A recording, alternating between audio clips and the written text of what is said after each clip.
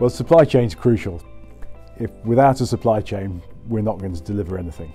And so the people and the and the companies within that supply chain are going to be crucial to actually delivering the 70 gigawatts.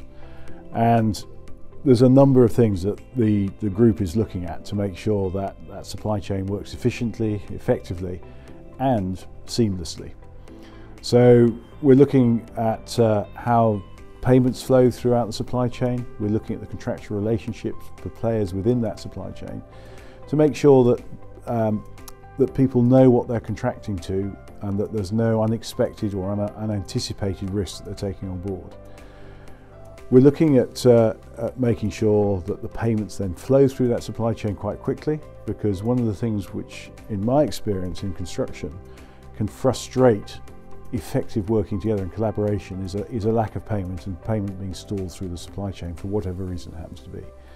And so it's important to me that we try and get the, the, flow of cash through that supply chain to make it uh, as effective as possible.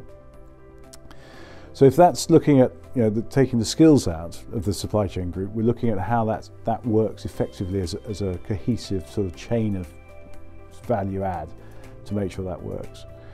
We're then looking at how we can bring innovation. So the great thing about solar for me is it's constantly evolving. We're constantly getting better products and better ways of doing things, uh, better ways of monitoring, better ways of maintaining and looking after the solar.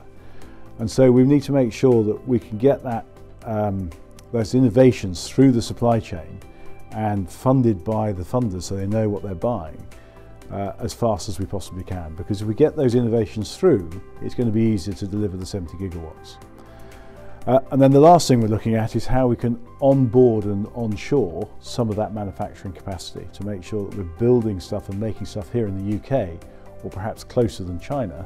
So that's, that's, that's the supply chain group. It's got a lot on its plate, uh, but it's, it's, it's getting some great work done. Yeah, I, I mean, I've I've really enjoyed being on the Solar Task Force. I mean, it, there's some passionate people who are there to, to, to really get the best out of our sector. And we realise that failure is not an option. We simply have to get 70 gigawatts deployed by 2035, otherwise we're going to struggle to meet net zero. It's, it's very binary. And so having the opportunity to influence and support and help and guide the industry through this challenge, it, it has been really, you know, it's been quite humbling and, and fascinating at the same time. So it's the, the, task force finishes in spring next year. We produce a report uh, on a route map on all the things that we think are going to have to happen to be able to enable the 70 gigawatts to happen. Um, and I think it's a it's a really good model for the renewable sector. You know, we've got the we've got a really great cross section of expertise across the industry identifying where the blockages are, or identifying where the opportunities are. And I think that is a, it's a great model for the rest of the sector to follow to be able to enable renewables to take off in what is it's going to have to happen. You know, if we're going to achieve net zero, then renewables are going to have to take off. So yeah, I, I'd say watch this space.